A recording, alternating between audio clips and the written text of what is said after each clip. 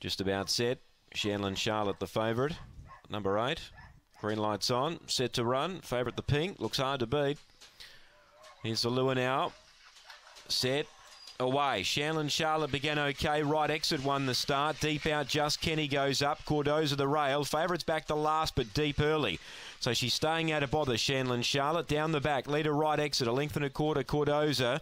Third a length away, striking success. Just Kenny. Wide out Shanlin Charlotte with work to do. Mr. Milford last. Right exit still the leader. Kev Bewley looking for four winners. Cordoza's a length and a quarter away. Shanlin Charlotte's deep out running on, but the bird's flown, I reckon. Right exit's clear, and right exit's going all the way. Shanlin Charlotte might have got up for second from either Mr. Milford or Cordoza.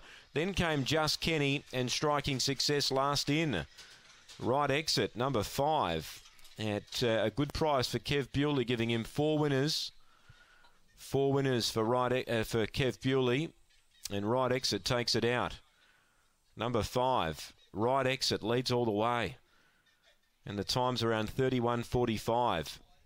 Number eight gets up for second. Shanlin Charlotte was deep out, running on two third Cordoza, and one fourth, and that is Mr. Milford. So it's 5 8 2 and 1. Bit of a rough result. Number 5 takes it right exit. 5 8 2 1. Three lengths by a nose. 31 45 the gallop here after race 8.